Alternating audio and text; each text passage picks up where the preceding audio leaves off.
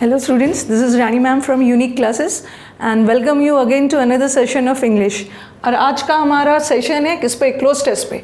और ये हमारा जो है ये फिफ्थ अगस्त ये जो क्लोज टेस्ट है फिफ्थ अगस्त 2017 प्री का है। ठीक है? जनरली बच्चों का बहुत ज़्यादा प्रॉब्लम्स हो रहा है बच्चों को क्लोज टेस्ट में। और क्लोज टेस्ट में परेशान नहीं होना। है क्लोज टेस्ट नो डाउट बहुत इंपॉर्टेंट है कोई भी एग्ज़ाम हो। बैंकिंग हो एसएससी हो क्लैट हो सीडीएस एनडीए कोई भी एग्ज़ाम हो क्लोज टेस्ट तो आना ही है। और सबसे ज़्यादा बच्चे गलती कर बैठते हैं क्लोज टेस्ट में ही। अभी आपने देखा होगा, जो स्टेनो का एग्ज़ाम्स हुआ है, उसमें क्लोज टेस्ट का लेवल भी उन्होंने बढ़ाया है। तो नो डाउट प्री में तो आपका टेन मार्क्स का आएगा, अगर सी जी एल की बात करते हैं। बैंकिंग में प्री में फाइव मार्क्स का आता है। लेकिन मेंस में अगर जाते हो सी जी एल एग्ज़ाम्स में मेंस में जाते हो तो आपका 25 टू 30 मार्क्स का रहता है। तो इसे तो आप इग्नोर कर ही नहीं सकते हो। ठीक है? तो चलो, आज हम क्लोज टेस्ट देखते हैं। और क्लोज टेस्ट का मैंने पहले भी आपका वीडियोस डाला हुआ है। पहले भी मैंने आपको बताया है। क्लोज टेस्ट ऐसा नहीं है कि जहाँ ब्लैंक देखा, उठा उठा के वर्ड्स फिट करते जाओ। पहले आप पढ़ोगे, ठीक है? पूरे पैसेज को छोटा सा पैसेज है, पूरा पढ़ोगे so that you get to know आपको पता तो चले कि किस बारे में है ये, ठीक है? और पहले भी मैंने आपको बताया, जो हमारा क्लोज टेस्ट होता है, उसके लाइन्स इंटरकनेक्टेड होते हैं, ठीक है? हर लाइन एक दूसरे से कनेक्टेड है। कभी कभी क्या होता है कि आपको कुछ वर्ड्स नहीं पता चल जा, नहीं चल पा रहा है कि इस ब्लैंक में कौन सा वर्ड फिल करें। छोड़ दो, आगे पढ़ के देखो। आगे पढ़ोगे तो अपने आप आपको आंसर मिल जाएगा। थोड़ा सा टाइम लगता है बट ग्रेजुअली इसको करते रहना इम्प्रूव होगा। ये नहीं सोचना है कि एक दो लेक्चर में क्लोज टेस्ट इंप्रूव हो जाएगा ठीक है? चलो स्टार्ट करते हैं। पहले साथ में पढ़ लेते हैं। नो डाउट लेक्चर्स के बारे में जैसे मैं भी आपको एक वीडियो लेक्चर डिलीवर कर रही हूँ तो इन्होंने लेक्चर्स पे ही बेस्ड रखा है। The dash of lectures could be enhance enhance करना मतलब इंक्रीज करना, बढ़ाना, ठीक है? किसी चीज़ को एनहांस करना मतलब उसको बढ़ाना, या क्वालिटी में भी बढ़ा सकते हो क्वांटिटी में भी बढ़ा सकते हो तो एनहांस एक पॉजिटिव वर्ड है।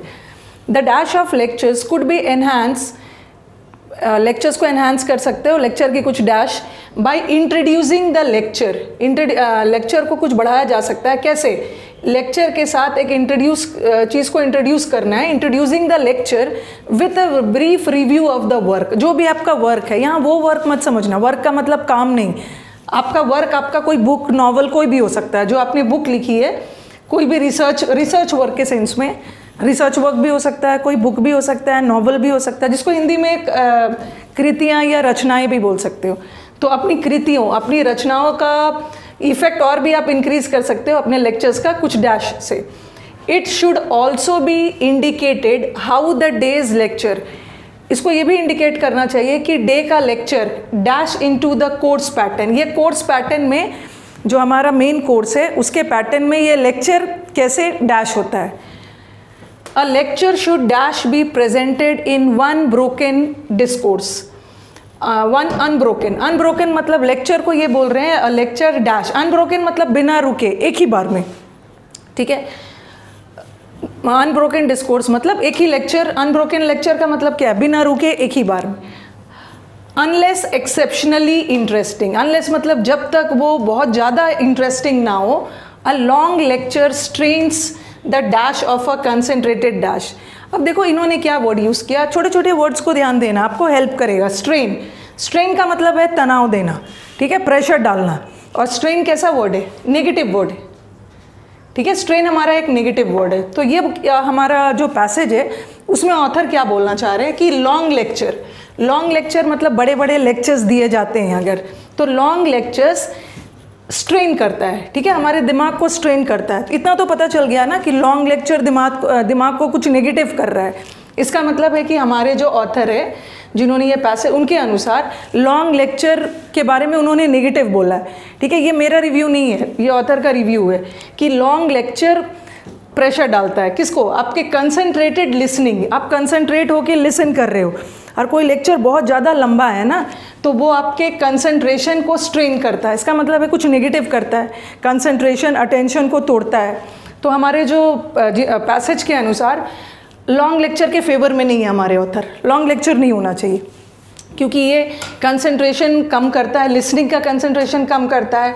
कॉजिंग इंटरमीडियंट इंटरमीडियंट मतलब रुक रुक कर। रुक रुक कर हमारा अटेंशन भटकाता है। वॉन्डर मतलब भटकना। हमारा अटेंशन इधर उधर डाइवर्ट करता है। इसलिए लेक्चर्स लॉन्ग लेक्चर्स लॉन्ग नहीं होना चाहिए। And loss of continuity in thought तो यहाँ हमारे पैसेज के अनुसार क्या है कि अगर लॉन्ग लेक्चर है तो दिमाग पे प्रेशर डालेगा, हमारा कंसंट्रेशन और लिसनिंग पावर कम करेगा। हमारे अटेंशन भी कम करेगा, हमारा थॉट जो है, जो थॉट का कंटिन्यूटी होगा, वो भी लूज़ हो जाएगा, ठीक है? तो वो इसके फेवर में नहीं है। चलो आप वर्ड्स को फिल करते हैं, ठीक है? अब आ जाओ। The dash of lectures could be enhanced enhance मतलब बढ़ाना। कंडीशन तो नहीं बोलोगे ना? लेक्चर्स का कंडीशन नहीं बढ़ाना है, ठीक है? कंडीशन या स्थिति के सेंस में स्थिति उसकी ठीक है, नहीं बढ़ाना। आपके दिमाग में ये भी आ सकता है कि इंटरेस्ट भी बढ़ा सकते हैं। इन लेक्चर्स में आपका इंटरेस्ट भी बढ़ सकता है, लेकिन इंटरेस्ट के साथ ऑफ़ नहीं लगता है। इंटरेस्ट ऑफ़ नहीं होगा, अगर इन होता तो हो सकता था। द इंटरेस्ट इन लेक्चर्स अगर आपको आपको किसी चीज़ में इंटरेस्ट है तो उसके लिए क्या लगा? इंटरेस्ट इन बट यहाँ तो ऑफ़ लगा, ये भी हट गया। अब हमारे पास बचा है इफ़ेक्टिवनेस और एफिशिएंसी दोनों नाउन है। नेस नेस वाले भी वर्ड्स नाउन रहते हैं इफ़ेक्टिवनेस भी नाउन है और इफ़िशियंसी भी नाउन है, दोनों नाउन है और हमें यहाँ नाउन की ही ज़रूरत है। क्योंकि यहाँ पर हमारा आर्टिकल है आर्टिकल के साथ एक नाउन की ज़रूरत है है तो दोनों नाउन बट दोनों के मीनिंग में डिफरेंस ठीक है डिफरेंस क्या है? इफेक्टिवनेस मतलब असर, प्रभाव और एफिशिएंसी मतलब क्षमता एबिलिटी तो हम लेक्चर्स की क्षमता नहीं बढ़ा रहे हैं लेक्चर्स की एफिशिएंसी नहीं बढ़ाएँगे लेक्चर्स का लेक्चर्स को असरदार बनाना है। ओके okay, जो जाके लोगों पे उसका अच्छा प्रभाव पड़े। तो लोगों की लेक्चर्स ऑलरेडी अच्छा है उसकी एफिशिएंसी ठीक है। लेक्चर्स की एफिशिएंसी नहीं बढ़ाना है लेक्चर्स प्रभावशाली होना चाहिए। लेक्चर्स का असर बढ़ाना है। क्या हो जाएगा? इफेक्टिवनेस ओके कि लेक्चर कितना इफ़ेक्टिव है कितना असरदार है कितना प्रभावशाली है। इफेक्टिवनेस होगा। ओके अब नेक्स्ट पे आ जाओ हम लेक्चर्स को प्रभावशाली बना सकते हैं। कैसे? लेक्चर्स का प्रभाव बढ़ा सकते हैं। कैसे? By introducing the lecture lecture को इंट्रोड्यूस करना है। ठीक है? लेक्चर को इंट्रोड्यूस करना विद व्यू ब्रीफ रिव्यू ठीक है? किसी चीज़ का रिव्यू मतलब छोटा सा विश्लेषण। ब्रीफ मतलब छोटा। With a brief review of the work dash ascending का मतलब क्या है? असेंडिंग ऑर्डर मैथ्स में भी पढ़ते हो ना? असेंडिंग मतलब छोटे से बड़ा, नीचे से ऊपर। तो ये तो यहाँ फिट ही नहीं बैठ रहा रिसाइट करना। रिसाइट करना मतलब उच्चारण करना, तेज़ आवाज़ में। जैसे पोएम्स वगैरह आप रिसाइट करते हो, मंत्र वगैरह को भी रिसाइट करते हो। खैर, मंत्र को रिसाइट नहीं करते हो, मंत्र को चैंट करते ओके ये तो मंत्र उच्चारण के लिए हो गया, लेकिन पोएम्स वगैरह रिसाइट करते हो, थोड़े तेज़ आवाज़ में बोलना, ये भी नहीं होगा। अब आपके पास आ गया प्रीसीडिंग और सक्सीडिंग प्रीसीड का मतलब पहले और सक्सीड इस बाद में. तो ये बोलना चाह रहे हैं कि लेक्चर देने से पहले पहले कोई भी बुक कोई भी नॉवल कोई भी वर्क का एक छोटा सा रिव्यू होना चाहिए। तो पहले दोगे या बाद में दोगे? पहले दोगे। इसलिए आंसर क्या है? प्रीसीडिंग पहले तो उस बुक के बारे में बताओगे, तभी तो उस बुक से रिलेटेड जो भी लेक्चर देना है दोगे और तभी वो लेक्चर जाके प्रभावशाली हो जाएगा। ठीक है? तो लेक्चर देने से पहले उस बुक के बारे में आपको थोड़ा सा रिव्यू देना है। तो आंसर क्या होगा? प्रीसीडिंग ओके प्रिसीड करना it should also be indicated how the day's work lecture को प्रभावशाली बनाने के लिए और भी क्या करना है? ये देखना है कि हाउ द डेज़ लेक्चर जो आपने उस दिन लेक्चर दिया है, वो आपके कोर्स पैटर्न में कैसे डैश हो जाए। लेट इनटू तो नहीं होता। लेट इनटू का मतलब होता है शामिल होना। गेट इनटू इज़ ऑल्सो शामिल होना। ऐड भी नहीं होगा। सेंटेंस के कॉन्टेक्स के अकॉर्डिंग किया जा रहा है कि लेक्चर इतना प्रभावशाली होना चाहिए। लेक्चर को प्रभावशाली बनाने के लिए पहले तो बुक के बुक के बारे में पहले छोटा सा रिव्यू देना है। और लेक्चर ऐसा होना चाहिए ना कि वो कोर्स पैटर्न में कैसे फिट हो जाए। ठीक है? फिट्स इनटू एड्स इनटू नहीं होगा। क्योंकि एडेड तो वो पहले से कोर्स पैटर्न में तो वो पहले से ही हमें उसे ऐड करना ही। है get into let into simply शामिल होना है। बट शामिल ही नहीं होना है। कैसे? पैटर्न में फिक्स हो जाए सॉरी फिट हो जाए। कोर्स पैटर्न के सुटेबिलिटी के अकॉर्डिंग लेक्चर होना चाहिए। A lecture should dash be presented in one broken discourse अब देखो यहाँ पे वर्ड्स है, हमारा कंटिन्यूसली आपके दिमाग में आ सकता है ना? अगर आप पहले से नहीं पढ़ोगे तो आपके दिमाग में आ सकता है कि कुछ भी हो सकता है कंटिन्यूसली भी हो सकता है ऑफन कंटिन्यूसली पॉजिटिव वर्ड है। ऑफन भी पॉजिटिव वर्ड है। अक्सर कंटिन्यूसली इज़ लगातार। रैंडम का मतलब होता है अनप्लैंड अचानक से। रैंडमली तो होगा नहीं। शेल्डम का मतलब होता है शायद ही कभी ना के बराबर। तो ये बोल रहे हैं और ये, ये वाला देख के आपको लगेगा कि कोई भी ऑप्शन फिट हो सकता है। उसीलिए मैंने बोला कि पैसेज को पहले पढ़ लेना है। क्योंकि यहाँ पे दिया है ना कि लेक्चर्स को अगर बिना रुके, एक ही अनब्रोकन बिना रुके एक ही बार में बोल दोगे तो वो लेक्चर्स लेंदी हो जाएगा लॉन्ग हो जाएगा। और आगे जाके सेंटेंस में बोला है ना कि long lectures according to the passage negative sense में बोला है।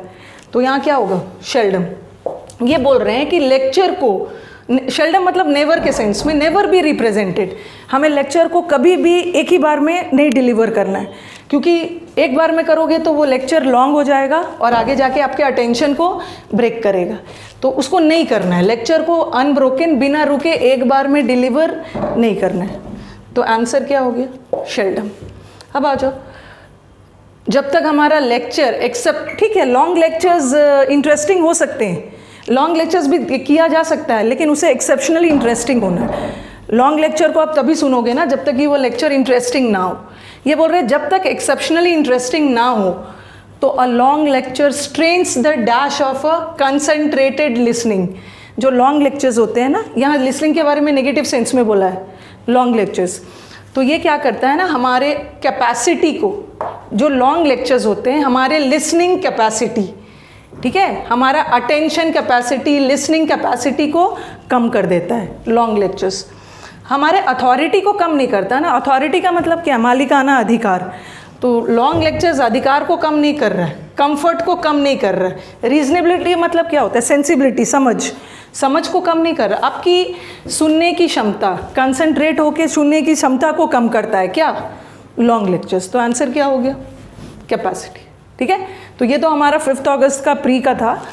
ठीक है होपफुली आपको कोशिश मैंने की है अपनी तरफ़ से कि आपको समझ में आ जाए। क्लोजेस्ट का सीरीज़ आगे भी मिलते रहेगा, ठीक है? और कमेंट्स अपने देते रहना। अगर वीडियोस पसंद आ रहे हैं तो इसको सब्सक्राइब करो चैनल को और वीडियोस को लाइक करो, दोस्तों के बीच में शेयर करो। चलो, अब हम मिलते हैं नेक्स्ट सेशन थैंक यू